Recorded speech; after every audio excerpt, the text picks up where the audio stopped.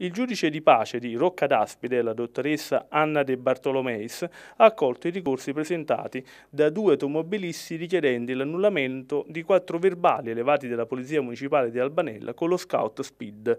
Due le multe ricevute per 736 euro inflitte dai caschi bianchi con l'auto del contestato sistema di rilevazione della velocità mobile. Pertanto il giudice di pace ha annullato le quattro multe, condannando al contempo il comune di Albanella al pagamento delle spese di lite per complessivi 306 euro oltre IVA. Le due sentenze rappresentano un riferimento certo per centinaia di automobilisti vessati dall'infernale Autovelox.